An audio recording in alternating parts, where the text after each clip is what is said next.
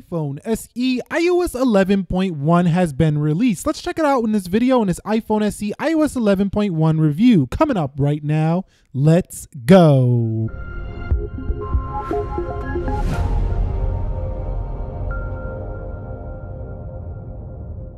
So, what is up, guys? Nick here, helping you to master your technology. And iOS 11.1 has been released for the iPhone. Here, we're taking a look at the SE. You can see the build number comes in at 15B5066F. So, a long build number there, signifying there's probably going to be a couple more releases. 2006 on the single core here for iOS 11 Goldmaster and 4380 on the multi core. Now, I did have about 2.77 gigabytes capacity before this update, and I downloaded 1.92 gigabytes for this developer beta. So that's the download size here.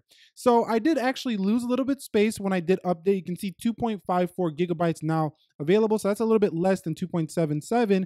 And just generally when you get into this, you'll notice the control center and notifications are much more buttery smooth in 11.5 or 11.1 than the prior version. Also, just generally scrolling through the operating system also seems to be much smoother than the prior versions. And specifically, you're going to notice this in animations when you are opening applications. It's starting to look like what we expect an SE to do or any other iPhone to do. And this version is going to be available on the iPhone 7, the 7 Plus, the 6S Plus. We might cover a couple of other devices on the channel with 11.1. So go ahead and comment down below if you like to see that. But the fingerprint scanner animation is much faster as well. It just looks a little bit snappier when you're going into your device. So for those of you who've been looking for iOS 10 day performance, it's coming soon for your iPhone. Just give Apple a little bit of time to get the software updated. It looks like it's going to do pretty well here going forward for iOS 11. So let's go ahead now and run another Geekbench here on the newer version of iOS 11.1 here. And you can see we get a total score of 25,